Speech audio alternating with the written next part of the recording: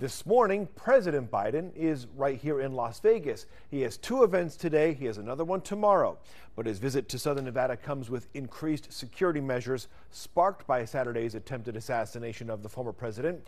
Good day, reporter Kamari Esquera live this morning near Mandalay Bay with more on the president's visit. Kamari. John, good morning. President Biden is expected to make two appearances in the Las Vegas Valley today. The first one being this morning at 9:30 here at Mandalay Bay for the 115th NAACP National Convention. Then later, he's expected to visit the Vote to Live Prosperity Summit. That location is unknown. Las Vegas Metro is increasing its security measures for the president's visit both today and tomorrow. The department has added extra security resources to each location President Biden intends to visit visit.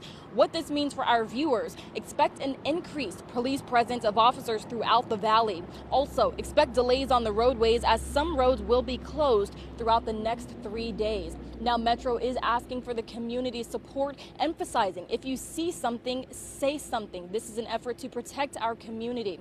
President Biden is expected to depart the valley tomorrow after he delivers the keynote speech at the UNIDOS U.S. annual conference. Reporting at Mandalay Bay, Kamari Esquera, 8 News Now.